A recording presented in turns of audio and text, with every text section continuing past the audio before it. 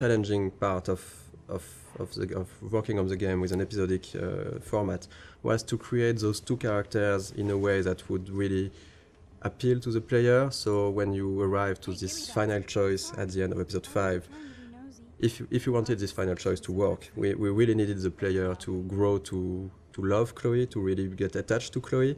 So two of the biggest challenge was of course the writing and the voice acting to ma- to to make that happen. Of course, the story was written uh, as a whole since the beginning, so we couldn't change massive steps, but uh, small details uh, could be uh, could be added. A, a, line of dialogue for a character, or episode three when you visit Kate in the in the hospital, and it wasn't supposed to be here, but we've seen how people loved Kate. Um, and we, we realized how much it was important to have a scene like this one. It's a way of finding um, finding the voice of the character. So sometimes you just need to, to think about expressions or words that one character will use and the other won't use it, and that's that's how you you grow to, to like those characters. Because when when in episode three or four, Chloe at the moment use use the word hella, the players are were waiting sometimes for it and they recognize that okay it's Chloe because she's she's using that. So we're working with uh, Blindlight in Los Angeles and they send sent us uh, a lot of different uh, um, voices to Yeah. to to listen to them and we have to decide so we decide with Michel, Sebastian and the producer and Square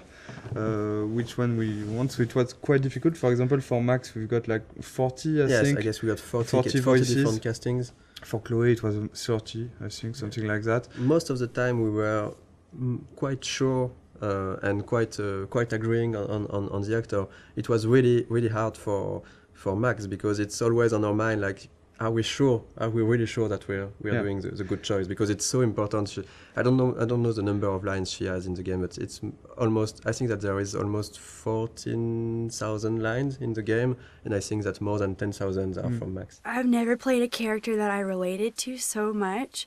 I have a lot of the same issues that she does with her confidence. And so getting to play someone that seemed so similar to me was really an extraordinary experience. I really feel like I'm growing with her. We'll help you. Just just let me go and The fun, fun story is for Jefferson. Uh, the, the guy we choose is Derek Phillips, and after we choose him, I, I, I, um, I discovered that he, that he was Derek Phillips, and he's actually playing one of the main ca- recurring character in the show Friday Night Lights, which which is one of my favorite TV show.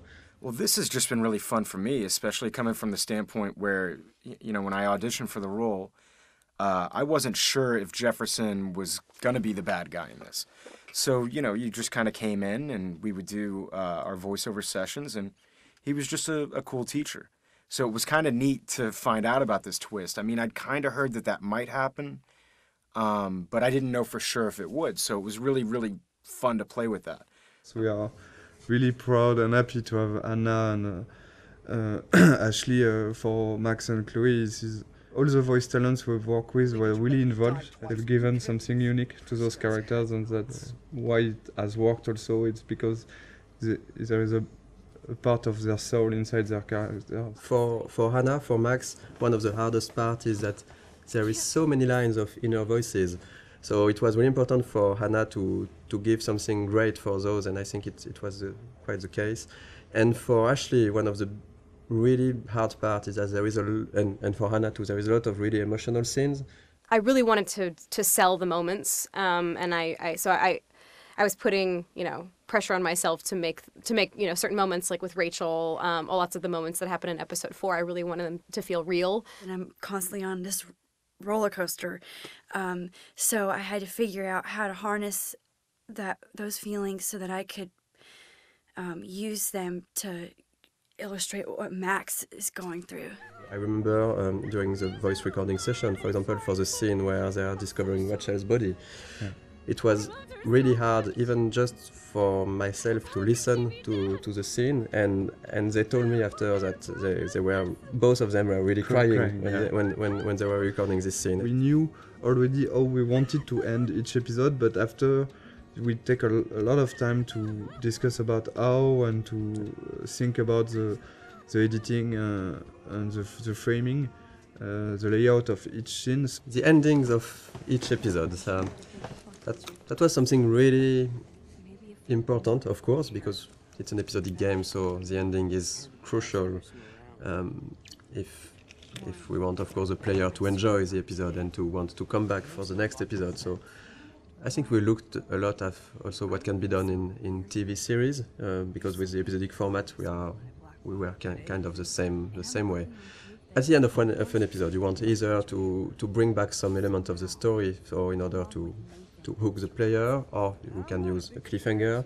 And I think that we did both of that depending on, on the episodes. And right now this is the ending for episode two.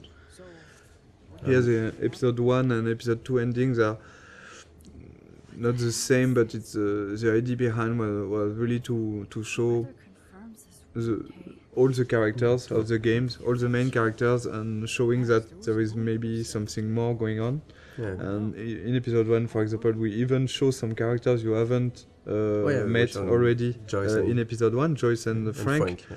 and you will find you will find them back here at the end of episode two in in, in small uh, scenes and we really wanted those in episode one and two those ends to be like a, a wide uh, description Yeah. of all the characters and, all, all what's going on and would al- bring- also showing other aspects of each character for example seeing david Yeah. uh, on the shou- uh, with uh, his head on the shoulder of Joyce, seeing uh, Victoria and, uh, and Nathan in uh, in uh, Victoria's room, seeing the principal and Jefferson arguing. This is kind of small hints that maybe will push the player to want to see more. Because this is basically the only moments where we are seeing those characters when Max is not seeing them. Exactly. And so we can just bring a bit more. We, we, we, we are not telling too much. We are just bringing a bit more on those characters, a bit of sort of mystery.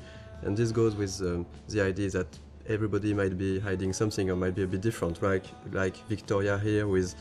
With, we, we can see her crying when clearly this was not the way her character would behave before and having Nathan going into her room we don't know what's happening between the two of them but it's still bringing a bit of mystery and interest for the characters for, for the player when we worked on, on the cliffhangers for episodes 3 and 4, of course our, our goal was still to have, to have a twist we were really trying to go on with what was important for the story and not just having the, the shock factor Maybe just want to yeah thank you for Yeah. all the, the gifts, uh, all the support we have from you.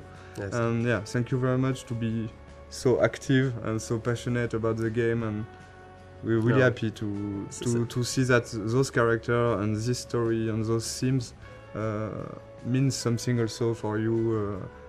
Uh, and yeah, this Yeah. is why we are doing games. So yeah, we're really happy. So thank you. Yeah, thank you, thank you so much. We really think that I think we have one. You are one of the best community we, we've seen for games. I'm going to And- cry, Michel. Yeah, and and this community is really nice. I I, I did didn't I didn't see a lot of bad words. You know, sometimes in, in video games community it can can go easily wrong, and it was really really it's really pleasant to to read and to to to, to read everything that the Life is Strange community has to has to say.